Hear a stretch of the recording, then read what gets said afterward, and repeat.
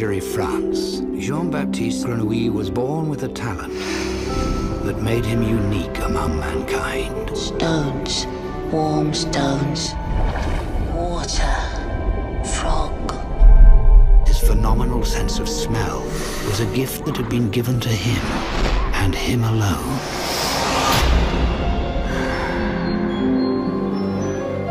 Master, can I come to work for you? My nose knows all the smells in the world. No man can call himself a perfumer unless he has proved his worth. The soul of beings is their scent.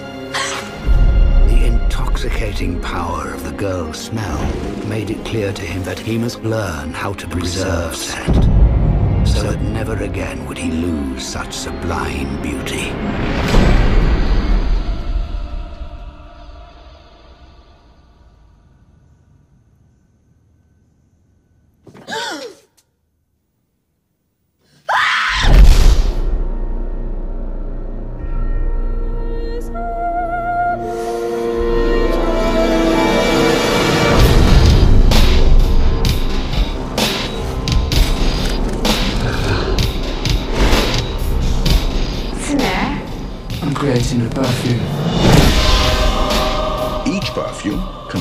Three chords, 12 notes in all. There's a murderer out there! One can only create a truly original perfume by adding one essence that will bring out Whatever his insane scheme, it will surely